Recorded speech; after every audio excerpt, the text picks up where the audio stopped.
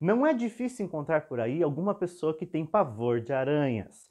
Tem gente que acredita que todas as aranhas são perigosas para seres humanos, mas isso não é verdade.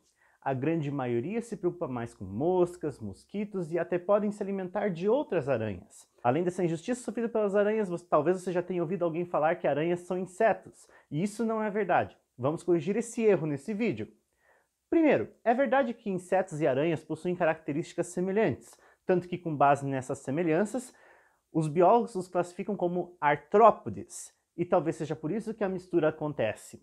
Ambos possuem patas articuladas e esqueletos externos, algo como se fosse uma casca. Vamos falar primeiro dos insetos. Insetos são animais com seis patas, por isso são chamados de hexápodes ou hexápodes. Insetos podem apresentar antenas e, além disso, os insetos possuem olhos formados por diversas lentes, como as moscas. Enquanto isso, as aranhas possuem oito patas, sendo chamadas de aracnídeos. Além disso, elas não têm antenas e seus olhos são formados por lentes simples.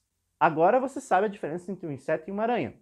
Obrigado por assistir esse vídeo. Se você quer continuar a estudar ciências conosco, você pode visitar a nossa página no Facebook ou clicar para se inscrever no nosso canal para não perder o próximo vídeo.